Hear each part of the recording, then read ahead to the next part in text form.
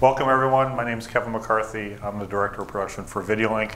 Uh, we're a full service video production company with a heavy focus on live streaming. We're based out of Boston.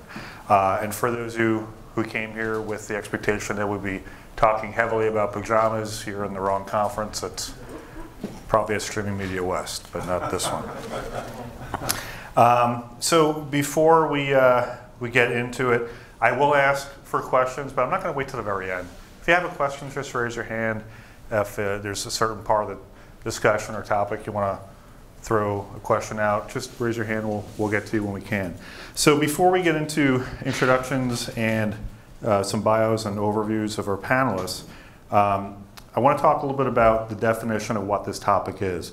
So remote production or uh, remote production involving video over IP, some may call it at-home production or, or REMI production. I think everyone, depending upon uh, the specific space that you're, uh, you're in in the industry may have a different bit of a, a definition of what that is. So if I can have uh, our panelists here introduce yourself, who you are in your organization, and talk a little bit about what your definition is of this topic and how it fits within your organization.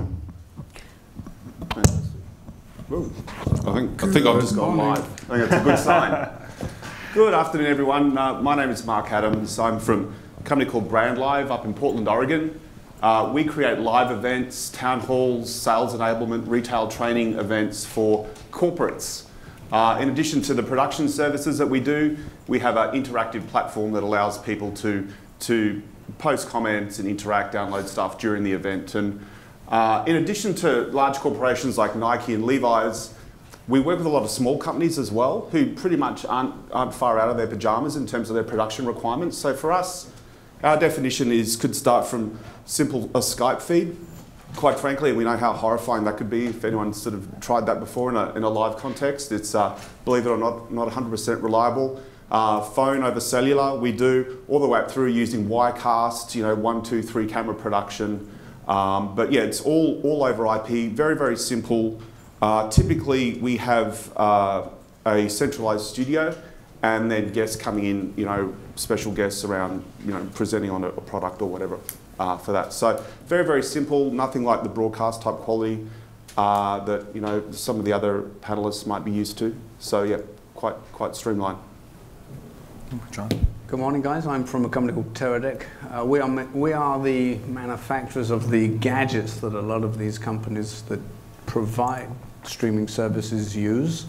Um, we make devices that are both used to take the feed from the camera and send it to the switcher wirelessly because uh, in a lot of situations you cannot run a wire. Um, and we take the feed from the switcher to uh, encode that feed and then uh, stream that to uh, an unlimited number of CDNs, whether that be a private CDN that you may use mm -hmm. or whether that be Facebook or YouTube.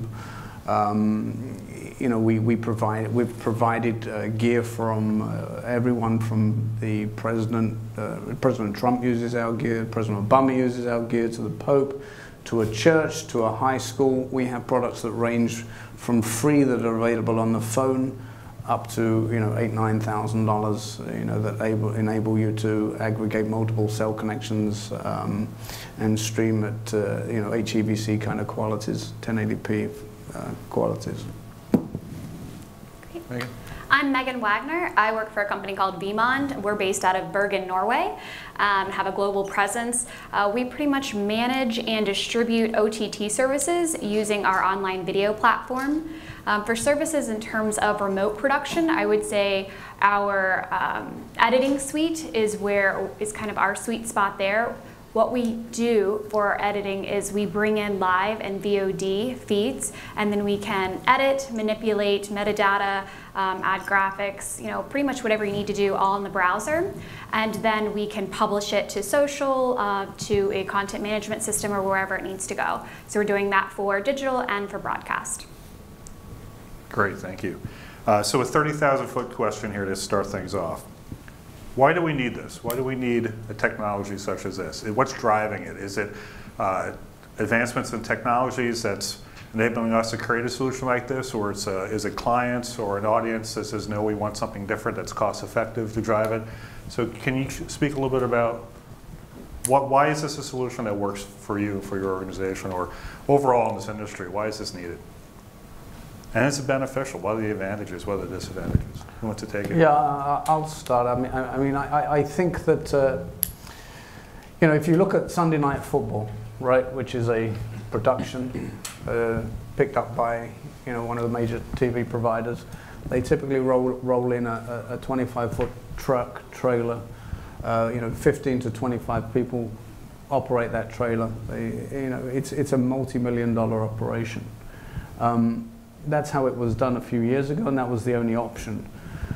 The change in the change, or what what has happened is um, that as equipment has got less expensive and as IP has become more reliable, it has meant that we can utilize um, lower cost equipment to be able to do a similar kind of production, but without driving a truck out there or out or without rolling as many people out there it's, it's, it's, become, it's become important to do because um, of the industries or, or the, the streaming platforms that we're now streaming to, you know, these social platforms, these, these very niche-based platforms, we're not going out to millions of people. We may only be going out to, you know, in a corporate environment, a few hundred, few hundred people. Yeah. So it's got to be cost-effective for the, for the for the people that we're trying to um, pitch our gear to, to, to, to the audience.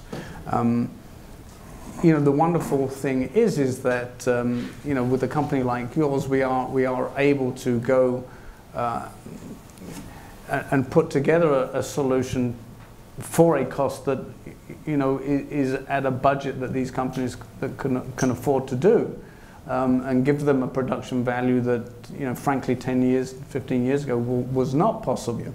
So we ask ourselves, what's the next step? I mean, we're still rolling, we're still rolling gear into facilities. You know, you're still turning up with a video switcher, you're still turning up with, with cameras. You know, what is going to be the next step? And, and, and I think a lot of people are considering the REMI or the remote style production as an option um, because it's, it's a natural extension of, of moving things into the cloud um, and not having to drive people out to that location. It, it, it just seems, you know, an easier way to do things, right?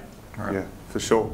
You know, I, I think that's exactly right. So our, our, customers are corporates, their product isn't video, like, you know, broadcasters, their product is whatever else their product is, like jeans or sneakers or whatever. But every company is still a video company. They need a video strategy. So instead of the truck, we can come up with a, with a backpack, quite frankly, with everything we need to do the remote production. Uh, so we're getting pulled into it because, because of the costs getting cheaper, because of IP getting better, and quite frankly, because everyone has figured out that they need to have a video strategy and they don't want to have to fly everyone into a studio or you know, the, the remote multiple sources is, is very important to them. Yeah, I would say that something that's driven us in terms of technology, um, you know, as a technology provider, from the beginning, we created a product that was based in the cloud. So we weren't really starting from on-site and then moving to remote. We were able to have access and our clients are able to have access remotely from the day that we started creating the product. And we do that, I think it enables a virtual workforce. So, you know, content providers, um, people that they're they can make their core focus back on the content and the technology is kind of a service for them. They're not having to work about setting up infrastructure. Um, they're not having to manage anything themselves. And so we really try to take that away and so that folks can excel in their core competency, which is creating content and reaching the people that they want. Great. So let's talk a little bit about quality. So Jon, you mentioned you know, sports um, um, idea of having a production truck and large amount of labor and they're all on site. So within that solution, you have a large redundancy built in. You have many people operate very specific roles. So this type of solution, you're, you're saving costs on not only the equipment side, but, but, but the labor side. Do you lose anything in, uh, not, not I want to say streaming quality, but quality meaning overall production solution quality? Are you losing something as far as not having enough eyes on your rural production or not having enough of the, the, the media equipment? I mean, I, I, think that we have to be realists, right? I, I still don't think that we're at a time where you know, if I wanted to do something that was very important, I, I would want to make sure that I had a crew, right? But I think that within a year to two years, remote production will be as reliable as on-site production. Um, you know, there's a couple of technologies that are coming along that we hope will uh, allow us to um, guarantee that the feeds that we're going to get from a particular location will get to where we need them to get. One of the challenges that we have today is connectivity, right? We turn up at a, a facility like this and we say to ourselves, okay, I want to deploy a couple of cameras, put a switcher in, how am I going to get out of here? You cannot I, I mean, that, that is our biggest Achilles heel. Um, and I think we're all hoping um, that 5G, I mean, that, that, that seems to be uh, something that, that's going to be rolled out in the US. Uh, I don't know how it is in, in Europe, but um, that, that should get us uh, more bandwidth into the cloud. Um, I think that uh, the switches that we have and the graphic engines that we have in the cloud at the moment are still rudimentary. Um, they've got some uh, development um, and uh, you know reliability and development. Development really uh, still needs to, to be proven to be um, something that um, if someone is paying you to, to provide a product, you have you have to guarantee that product. I think I think 24 months are a reasonable time frame for, for things to get better. I, I don't think the impact of 5G, for example, I think is is not going to be felt for a little while. I still can't get a a good signal in my hotel room in New York just for voice calls, quite frankly. So, uh, but yeah, I mean, I think in terms of whether anything's being lost, I mean, you know, most of our corporate partners haven't had anything to compare it to, and quite frankly, if it looks close enough to um, you know, the football production value, then they're happy with it. And, and most often it is. There's on-screen graphics. I can switch between different cameras. That's fantastic. I mean, that's, you know, when you're going from nothing or from Skype or, or Zoom, for example, you know, one of these, you know, webinar tools, then it's, it's light years ahead. So we look very good no matter what we do in, in comparison to those kind of tools. Right. And as far as the editing, I mean, live over internet is pretty reliable in the sense that we're bringing in, um, you know, very low bandwidth. We're editing on proxy files, and then we start transcoding as soon as it comes in. So you're able to immediately, um, you know, manipulate the feed and start editing and play it out. Uh, it is important though to have redundancy, and we can do that in different clouds. We can have uh, several several different um, you know, instances in the same region and different regions globally. And then all of that doesn't make a lot of sense unless you have an automatic failover. So once that happens, then as a service, you've got to be able to quickly switch and not interrupt that live feed. Great. Yeah, we have seen great reliability in the cloud with, with, with using services from, from AWS. Uh, I mean, their security is, is very secure. Yep. Um, you know, they have a lot of inherent redundancy built into their servers. So we, we utilize their worldwide deployment of POP sites to, to, to be able to automatically route video. If I see lo, lo, uh, drop packets, um, you know, in a particular area, I can then route them through someone else, somewhere else. And the internet, the, the, you know, the internet is, is, is an interesting animal. It, it, it's not, everyone assumes that everything is good and safe in the internet. And you know, I'll give you an example. I was doing a stream from New York to LA, uh, going through a, a, pop site in um, Chicago a couple of weeks ago, and I'm, I'm seeing that the bitrate is going up to the cloud. Uh, I can see that uh, we're not dropping any packets, and yet we were looking at the decoder on the other uh, in the in, in um, the west coast, and it, and it looked terrible. We were dropping a lot of packets. Um, you know, at that point you start to think, oh, there's a problem with the equipment until someone says, well, let's, uh, let's route it via a, a, server in Brazil. So we were going down south up to, from Brazil up to the west coast and it looked perfect. Hmm. Um, you know, these are the kinds of things that you, you are dealing with on a daily basis with IP and, and you have to be able to be resilient enough and to understand enough to be able to work around those kinds of problems.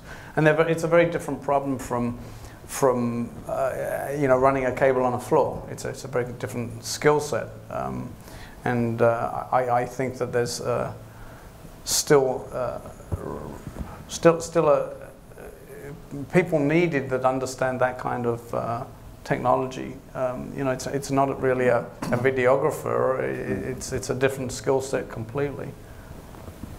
Yeah, it's a network engineer. Yeah. Yes.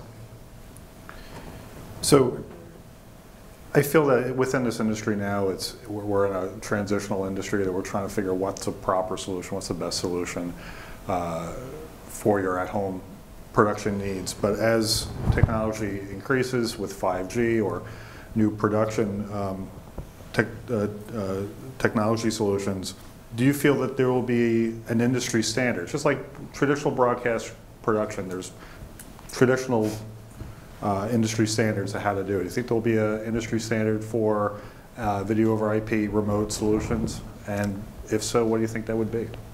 Do you mean like a, a technical standard or a hardware yeah. and software? Both. It's, you know, I think uh, it's going to be cost driven. And so I, I, think the answer is no in terms of hardware and software solutions. I really think, you know, you have to you, you could spend on your remote production $20,000, $50,000, $100,000, or you could spend, you know, 5,000, 10,000. It really depends on, on what the budget is. And within that price point, there's all kinds of solutions. There's Jon solutions and, um, you know, things that are cloud-based, things that are hardware-based. So, so I think it's unlikely. Maybe at the top end, you know, broadcasting and, and, you know, all the dollars behind that drove those kind of standards. So maybe, maybe at the, the upper end of the production value scale. I mean, standards means something slightly different for us. I mean, we, we, we em embrace the video compression standards that are out there. We use both H.264, which is the protocol that is used to stream to virtually 100% of the CDNs out there, you know, Facebook or YouTube, right? They, they all accept H.264, which is a standard. Um, but if we want to talk about you know, what will be in the future and, and, and will other standards be adopted. Um, HEVC is a new standard that is being adopted. Um, it's very, very good at very, very low, low bit rate encoding. It's very, very efficient. Um, that's great when you're challenged by your first mile bit rate, right? Because you've got to get that feed out. Um, and that would be a great standard to use in remote production because um, you're able to take in multiple feeds at a low bit rate and then switch those, but still retain a very high quality. So I, I you know, we, we, we, look at the standards and, and, you know, we'll try and always adopt uh, the, the, best standard, uh, you know, you know, for, for video compression, which is the world that we play in. And I think for us, it's important to to be as agnostic as we can. I think, you know, with files we're agnostic, um, we're browser based, but we, you know, we bring in like the typical formats. We can bring in HLS and it's important for us to be able to have an open ecosystem. I think as soon as we start to close off and say we can only do certain things, that's when we get into trouble mm. um, because we're finding that, you know, technologies are going to continue to change and you're going to have people that want to, you know, enable some sort of capability that we don't want to necessarily build ourselves. And so we have to make it super easy for either the end customer or a third party to be able to plug into that. So you mentioned easy, and I think that's a, an important term to state when we're thinking about this type of solution. So um, kind of a, a two-part question here is, um, I know some of you are involved with cloud-based solutions. So uh, on my side, most of our video over IP solutions are taking remote locations, bringing it back to a central control room. But there are cloud-based switcher production solutions out there. And so what are those, how are they working in this field? And, and the next part of that is, is, is training. How easy are they to use? Is it something to easily adapt for people who don't have much of a production or, or streaming background? Yeah, I mean, so we, we certainly don't have a, a cloud-based solution yet. It's something we, we have on the roadmap, but in terms of downloadable tools, we have something that's even simpler than Wirecast to use that we have for our you know pajama-based production folks. But uh, in terms of training, I mean, there's no getting around it. These are technical tools that have to be used, whether it's cloud-based, whether it's hardware, whether it's software. You have to train people properly on how to use it. That's why there's a crew, and, and that's the biggest challenge we face, quite frankly, when we're taking these amateur non-video people and trying to turn them into video production people. Eventually, you know, we can't produce every event for them, so they have to be trained. Uh, and when your job is, you know, a marketing person or some other function within the business, you've got to learn how to be a video person. It's got to be as easy as possible for it. And I think that's, you know, as an industry in this kind of DIY segment of the remote production space, I think that's really critical. Make it easy. Anyone else? So one thing that I think about when you take your production solution, you bring on a remote or outside of a on-site location, um, what do you lose? You lose, you may lose some things technically, but do you lose that interaction with your clients? At least in, in our world, if we're on site for remote production, we're interacting with the client, we're interacting with the talent. Uh, in this type of solution, you're remote. You may not be having that in-person interaction. Is there is there something lost there, or I, how do you think that affects? Yeah, I, I think that you have to be smart in, in deciding when and where to use a REMI production, right? If interacting with your talent, your CEO, your customer is important, then you need to turn up, right? That's part of the service that you give. Um, where REMI productions seem to be popular in the world that I live in is, is doing sports, where there's no interaction, right? Um, uh, you know, that, that seems to be the, the sweet spot at the moment. You know, you, so, so that's, you, I don't think it's a one size fits all. You, you can't just, uh, at least not at this stage.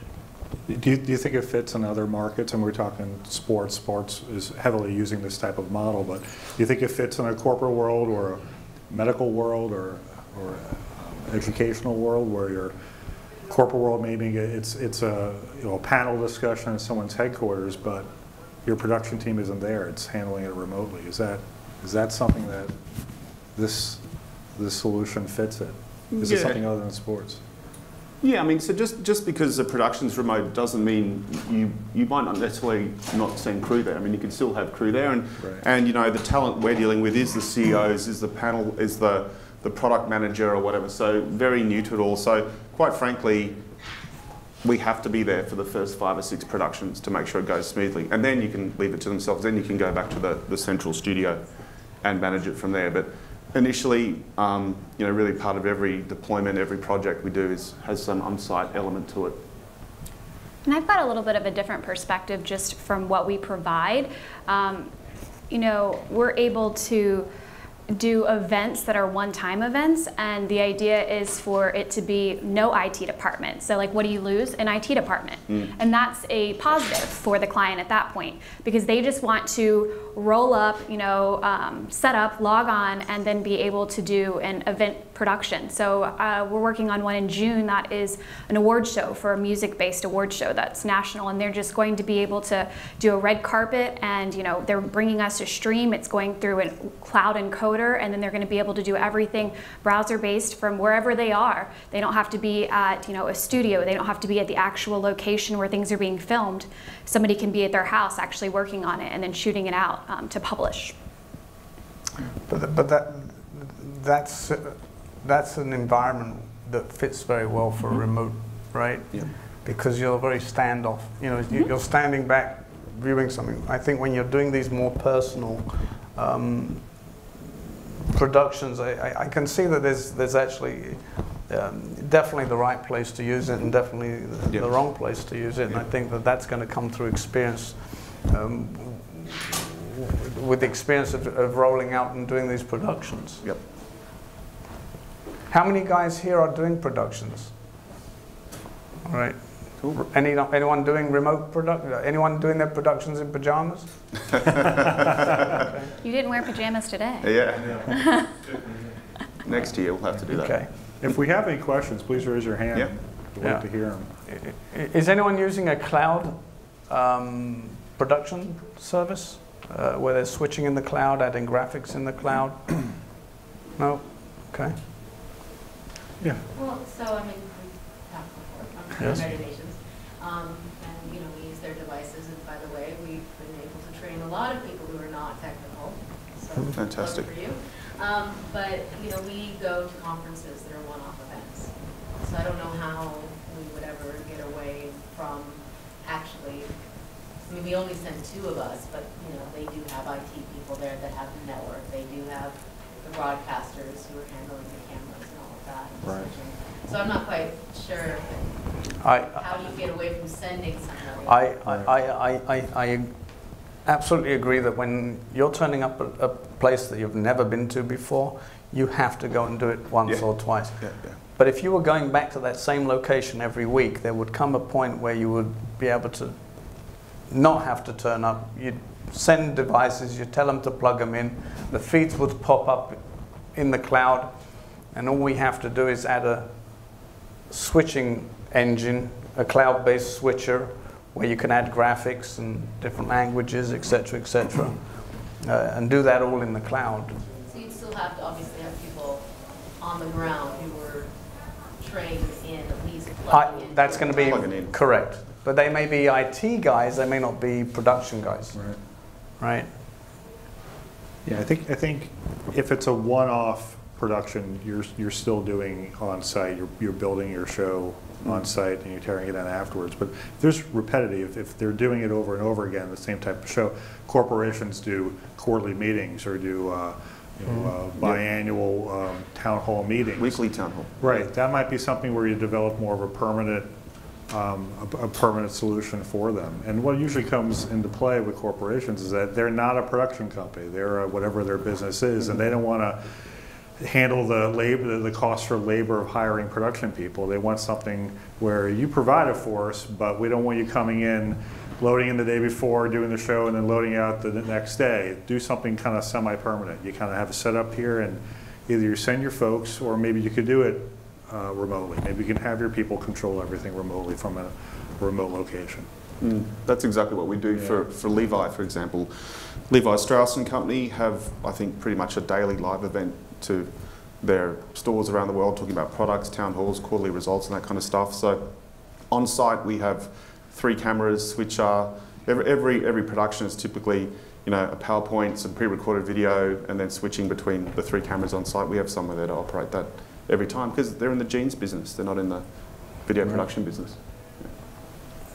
You know, we think about these types of solutions uh, all the time. We're a production company trying to think what's the best way to support our clients. And the first thing that comes up when we think about what's the next way to, to solve a solution like this is how much is it going to cost us? But I think that the deeper question is how long is it going to last? I mean, back in the day, you outfit your production facility and you're good for 10 years. Now it's maybe a couple of years. Um, so I guess a question for, for the panel here is, how are you, what efforts are you putting into your investment on your, your infrastructure? And how far in advance are you talking or thinking about the next step? Or as technology advances, as 5G comes into play, what's the next step? Yeah, I think, you know, when we're telling our customers to outfit their offices with equipment, I mean, we could tell them to get a four or five thousand dollar equipment package, some lav mics, some couple of cameras and, and that stuff, and that's it, and, and that'll last as long as it lasts. I mean, that probably will last them three to five years. We, we wouldn't mean, you know, typically they don't spend in their first go round, they don't spend more than 20,000 bucks, $10,000, but then, you know, as they become more sophisticated and video becomes more central, then they could easily spend 100, 200,000 on, on fitting out a studio. Uh, and then, you know, how long does that asset last for? You know, possibly five months, I think, is, is a kind of lifespan that you give something like that now. Right. So, sorry, five years, five years, five months. Five, Five- months was great. That'd be great. It'd be great if you were selling that that equipment and you had a, a five month replacement cycle. That'd be amazing. Hey, I, I, I, I, I mean, on, on that vein, you know, I don't know how many people are here are, are aware of uh, the, the new change in Facebook, right? If you want to stream to Facebook now, you've got to use RTMP-S. Now, there are encoders that we sold a, a year ago that didn't do, doesn't do RTMP-S. You need a, a lot, uh, right? So, you know, I've even got someone that bought encoders, you know, three months ago. Yeah. Now they didn't tell me they were doing Facebook Live, but you know, and Facebook Live just announced a change. So you know, we're, we're in a world now where equipment is disposable almost. Mm. But then the, the cost, you know, you're looking at a $600 encoder, you know. Should that be disposable? I mean, you, your phone costs more than that, Mm. you know? And yes, I would say I hope that Teradek Core can convert that for me, right? it does. Okay, that's good. And that's, that's what's great about solutions in the cloud. Yes. That, that's true, yeah. And That's true. Opt in for a solution in the cloud, I can send it Right. whatever you need. Right, There you go. that, that's true. We, we, we can be far more agile with the cloud, right? Suddenly, you know, Facebook decides we're only going to accept 4K. Hmm, okay, well, you never know, right? Then Yeah.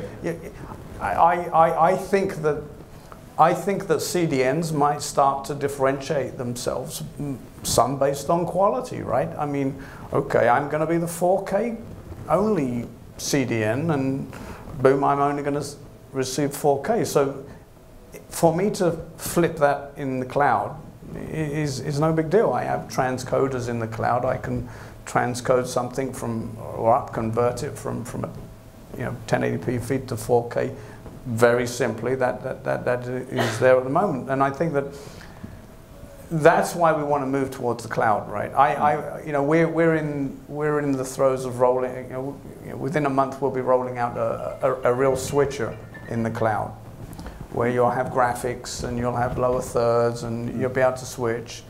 And yes, it will be um, basic, but I think it's you know one small step for mankind, one giant step for Teradek as a, as moving things that we used to do on the edge into the cloud, and um, you know trying to do it at, at, a, also as, as a pay-as-you-go kind of model, Mm. right? Which means that you guys don't have to buy any equipment. You just, you know, it's, it's, it's, it's you, you use it for two hours on a Sunday morning to stream a, a church or a corporate event. You know, your cost to do so is, you know, two, three bucks an hour. That's exactly how we look at it. Um, in terms of cloud-based, you know, business models, you have a software as a, a solution, and you use what you use, and you pay what you use. You know, a fraction of a penny, you know, per minute for for ingest, for rendering, um, that type of thing. And so there's no contract, there's no commit. That's why you can do events. That's why you can do things that are one-offs. But then you can also enable people, you know, all over the globe to access the same story and, you know, it's not a per seat or a per license fee. It's just what you're using. Um, so we found that to be very effective. And of course you can tier models, you can do whatever you need to to make the business model work, uh, but it makes it a lot more granular and it's all OpEx. Yep. Exactly. Yeah. I, and it's interesting to look at the, you know, how this industry has grown, right? I mean, you know, you're now able to do things on the fly. You're able to, I mean, because of the cloud, we've been able to expand what we do. Uh, you know, because of IP, we're able to um, stream something from here to the cloud, right? You know, many years ago, it would, the, the cost to do so would have just been prohibitive. You know, you know, our industry, you know, I, I, I- calculated, you know, as of last week, we'd delivered in, in eight years 104,000 encoders. That's 104,000 people that are now streaming. You know, our industry has grown. You know, it, it's, it's definitely, uh, you wouldn't have believed it 10 years ago, right? Mm. Uh, I mean, we, we've brought streaming to the mainstream, right? Yeah, sometimes I feel that the idea of how to use a technology is quicker than the actual technology. So like for several years, we've had a solution for a single camera over video, video over IP solution for broadcast live shots. But the idea was out there for a multi-camera solution. And technology is just catching up to get to that spot to provide that solution. Do, do you feel the same? Anyone? Um, I want to talk about maintenance. So every time we buy something, we got to think about how we're going to maintain this. Um, and this is a different type of solution. This is is this a, a broadcast maintenance type of situation, or are we talking IT? This is heavy IT. How do we maintain this type of technology? Well, maintenance sounds like an argument for consumption-based cloud tools, quite frankly. Yeah. I mean, that's why they're going to win. That's why everything will be consumption-based cloud business model. Why, why not? It makes complete sense and negates any of the maintenance, the equipment redundancy. Um, but, you know, it just depends, you know, in our case, in 2019, today, I think it's probably a, a discussion with the IT team slash production team, depending on who's in charge of that, who owns that particular item.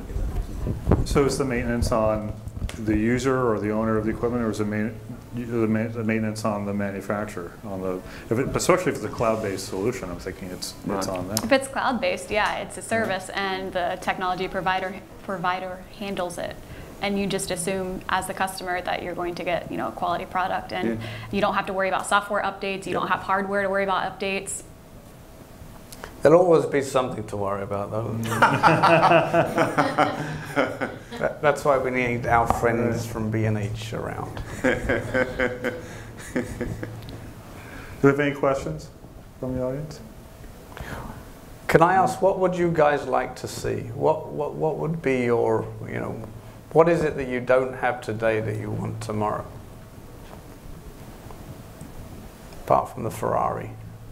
but what's your biggest challenge? Is it connectivity? Is it, is it, right now, when I'm trying to uh, send stuff internationally, right? and their, their decoder is a Zixi, it's not a Teradek. Right. It's uh, somebody else. So now they, now I can't send them that using the Zixi or the Teradek. They've got to purchase or rent that decoder on their end. So there's so many of those types of solutions. Open. That there's not, doesn't seem to be a universal one. Right. For the, for the taker. And I know a lot of the times from a TV station to a reporter in the field, but global production, we do sports, so we're trying to send a single feed to multiple takers. Right. We're Trying to do, a, you know, a- streaming feed. Again, the cloud will help, right? We'll be able to flip one feed into a Zixi zi- feeder and a- another feed into transport stream, and someone else wants HLS and someone else wants RTMP, and in the, the cloud allows us to do all of that.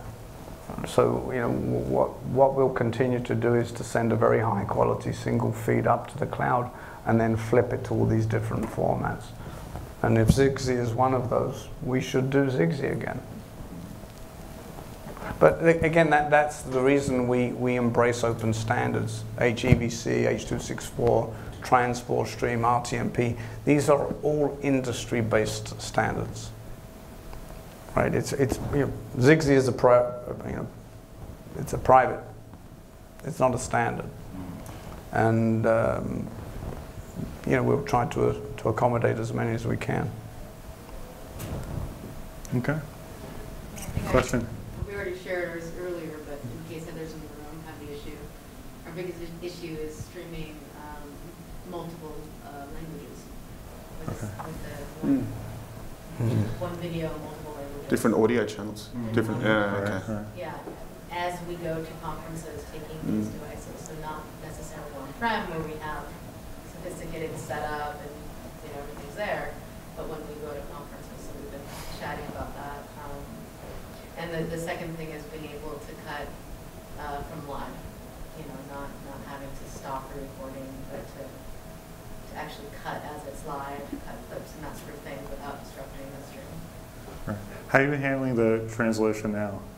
Is it, Well, is it one stream or are you doing multiple Well, streams? Right now, we're having to, um, to do the, the packaging at the, the source, where we have to package the one audio and one video and send it out. Um, But of course, that requires more bandwidth. Right. Um, But, you know, as we're sort of moving forward and we, we're looking at changing, uh, you know, providers on, um, they would like us to split that, send the audio and the video, uh, video separately. And so we've already been talking about, um, how, how to maybe do that when we are in a remote situation, uh, which we are commonly covering conferences around the globe. So, we're Great. still looking at how to use that. What's your use case for um, the live editing? Edit, you want to like take clips? Well, a lot of times our, um, we're, we're covering things that are, ha- are- that are very long sessions. Right. So, you know, like a, a plenary. So, um, I mean, this isn't a remote conference, but, uh, if you've ever watched or experienced the general debate in New York, Mhm. right, where there's speaker after Mhm. speaker after speaker. So these conferences are a little bit like that. There's Mm. mini general debates where we have heads of state, heads of state, heads of heads of state. Um, and, um, you know, we, it used to be that we would cut clip by clip, you know, sometimes now we, uh, you know, we do that for New York Mhm. because we have the infrastructure here, and so now at conference, we just, we need to cut the Secretary General, or we need to cut some of those high-level officials, and they want to see their clip online and embeddable on demand. Of course they do. Immediately. Straight away, yeah, yeah, I get it. You're not, there's no stop, right? You're still I see. Yes. for Tell them we'll six work as fast as the UN. What's that? What's that? We'll get it done as fast as the UN. So- But yeah, so, you know, so we have to then look for other services or try to have redundancy and, you know, try to pull out cards or try to stop a stream or something like this, um, which isn't always great. Hmm. want to just be able to, you know, especially since the redundancy is costly for us. Yep. We don't have a budget. Um, that so sometimes we're going and recovering with no redundancy. It's like, Oh, wow. If this encoder goes down, we've lost the language. Right.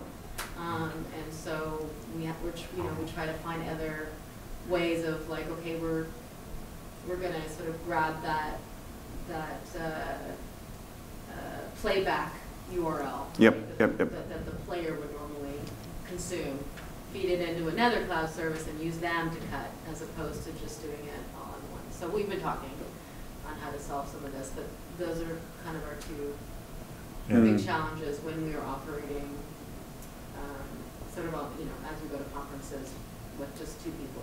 Yeah. I think in, in this type of solution, there's a lot of challenges. At least the biggest headache we have is typically bandwidth. Oh, well, that's yeah, always, a- yeah. that's a given. And it's, and, and you, you, you mentioned redundancy, we put a lot of effort into redundancy. You have to, because if your primary fails, especially if you're, if you're at a at-home type of model where you're doing all your production from a remote But it- location. Is That- most of the work that you do reoccurring at a location, right? It- It's very different when you're turning up one time somewhere. Right, You know, I mean, like, we show up, like, so for instance, we just did, you know, we, we actually did a couple of big conferences, but like, the, the most recent one I covered was in, was in Morocco. They literally set up the conference center from nothing, they built Mm. tents, Oh, they wow. built infrastructure, whatever, it's the government of Morocco that is sponsoring it. Usually it's the, the case, the government is the one asking us to come, and they don't give us network redundancy. They're like, this is our Right, this is the network we're going to provide you, and, you know, uh, we will ask for, you know, dedicated parts of that bandwidth, the seg- segment, like nobody else is on our, but always, always on that first day, yeah. we'll find somebody hacked into something, and the media is now on our network.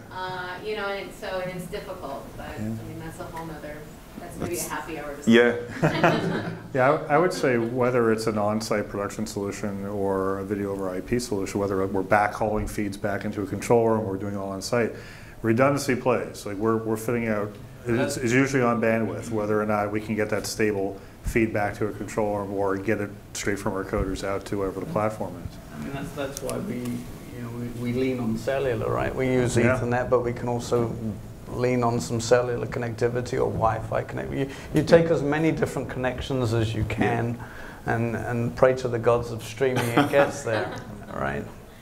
Yeah, I think that discussion of redundancy comes immediately after you identify what your primary is. It's, we're gonna go this way, and then, all right, let's talk about it. We're gonna bring a cellular bonded cell device, Yeah. we're gonna go mm-hmm. some other I mean, device. I've got, I've got Live Nation, they take, they use our bonded gear, but instead of using one of the, they, they actually take two Ethernets. They, they, they, they call in two providers to give them two Ethernet connections in case one, I mean, that's, that's really spoiled. but- No, we only got redundancy when, because it was the king that was speaking when it went down. Suddenly it was like, oh, so now you have it, okay. You mean Elvis is alive? Well, no, in, the- We- in, in Morocco. We put redundancies in place, not, we put redundancies in place not just for our peace of mind, but uh, for our client too. And our client's not in our space. They don't know what we're doing, but just to know that, or if you're gonna set up your shop at a completely different location from where we're gonna be, Right. you have to make sure that it's gonna work and you have to explain to us in the most you know, simplest of terms of how this is going to work. So we put a lot of, we have to put a lot of attention towards that. I think it- it's a big, big part of how you solve your, your remote production or at-home production. Do we have any questions? There's got to be questions out there. No questions? I think we're getting kind of wrapped up here. So let's just do final thoughts from everyone here. Um, Mark, we'll start with you. Anything else you want to just finally say? No, it's it's interesting you say about you know live production is just one of those things where you can't you know planning everything that goes into it, the training and stuff. There's still always something, isn't there, that uh, that goes wrong. You know, quite often we just did a event for a Comcast out of Florida uh, on Monday for their CEO town hall, and everything was going smoothly until it didn't, and then you know, and then it goes back again. But it's just you know, it's just in the in the remote production and you know pajama based you know amateur you've always got to sort of over plan for that situation over plan for the for the failovers and the redundancies and something breaking always you know have that have that plan B C and D ready to go because that's the joy of live Jon? It's been interesting, you know, hearing the different challenges that we have. I think that uh, from what I'm realizing, you know, we have to work uh, on redundancy. You know, that's something that we have to implement more audio channels. We have to continue to develop in the cloud, and, and it'll be interesting to see where we are this time next year. I think it'll be, uh, you know, I, I, I I look at our friend over there uh, who's from B&H, and I, I say, I wonder how their world is going to change in the next five years. He's not listening. he's, he's browsing. he's, he's probably looking on Amazon for an encoder.